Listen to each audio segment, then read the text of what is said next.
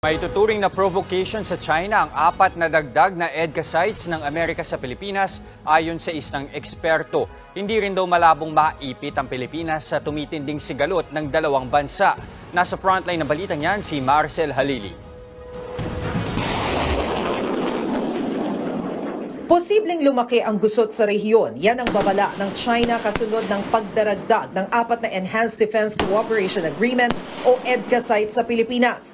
Ang hakbang na ito ay malinaw anilang pagpapalakas ng military deployment ng Pilipinas para sa sarili nilang interes. 事实非常清楚，美方出于一己私利，抱持零和思维，不断在本地区加强军事部署，其结果必然是。 Ganito rin ang sentimiento ng isang Chinese maritime analyst. Maituturing daw na provocation ang dagdag na EDCA sites. Baka raw kasi gamitin ng Amerika ang EDCA sites sa mga pag-atake. It will make the Philippines in the center of power competition between China and US. And also it will will will be and will not be any help for Philippines to defend your your claims in the South China Sea because this kind of arrangement will will make China take it take the situation very seriously and complicated. Ang isang Filipino security expert naman, nagbabala sa posibleng sagot o susunod na hakbang ng China.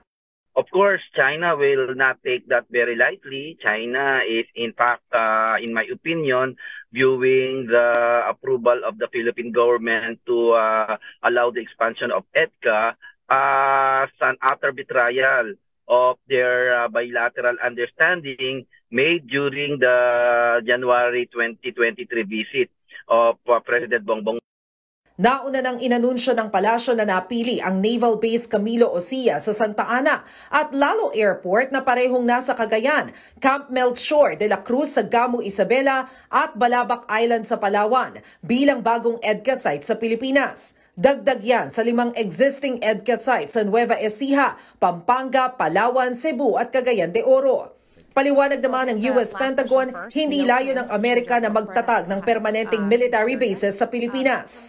So you're going to see an increase of um, rotational forces in the region, but um, this is more about supporting combined training, um, being able to respond to natural disaster or humanitarian disasters in the region. But um, this is really about regional readiness. Ganito rin ang sinasabi ng ating armed forces. Malaking tulong daw ang bagong EDCA sites sa pagprotekta sa bansa at para na rin sa disaster response capability ng Pilipinas. Para naman sa Philippine Army, dahil sa EDCA sites ay madedevelop din ang mga lugar sa bansa na kapos sa pondo.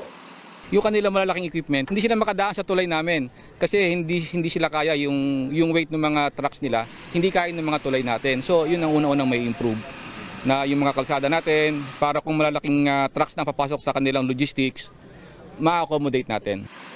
Pero sa kabila ng mga paliwanagan, hindi pa rin pabor si Cagayan Governor Manuel Mamba sa dalawang bagong EDCA sites sa kanyang probinsya. Mas malaking ihamak ang positive if we connect ourselves to our neighbors, especially in China. This is the biggest uh, market in the world. The, the, the biggest number of Chinese tourists sa amin. And the number one provider tourist of the world. Amerikano, wala, kuripot pa. Ang layo pa sa atin. Wala na kami magagawa. No? Nandiyan na, kaya lang, we don't like it. Nagbabalita mula sa Frontline, Maricel Halili, News 5.